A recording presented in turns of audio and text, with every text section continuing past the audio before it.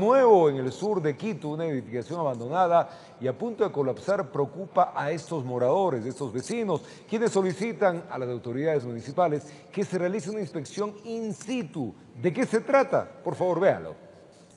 Un muro a punto de caerse, vidrios rotos y paredes cuarteadas. Así se encuentra esta estructura ubicada en Barrio Nuevo, sur de Quito. Los vecinos cuentan que se trata de un colegio que dejó de funcionar por el peligro que representa para los estudiantes. Entiendo que eran unos talleres de aquí del Colegio de la Policía. Y lamentablemente como se resquebrajó el edificio tuvieron que desalojar, y, pero han venido anteriormente del municipio, pero nadie no hace nada, y ni siquiera de aquí del, de las autoridades del, del Colegio de la Policía.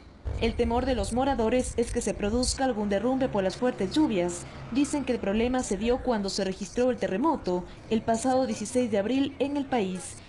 Sí, con el temblor se, se agravó más la situación. y, y, eso tiende a, a, con las inundaciones, a aflojarse más todavía. Este problema. Puede caer ya sea por el problema de aguaceros o como también dicen por un temblor. Pues, un temblor fuerte, eso se comienza a derrumbar. La estructura actualmente está vacía, sin embargo causa preocupación. Piedad de Cárdenas vive cerca de la edificación. Dice que si se derrumba, su casa estaría afectada. Está ya abierto aquí todo el filo de mi casa. Está bien peligroso.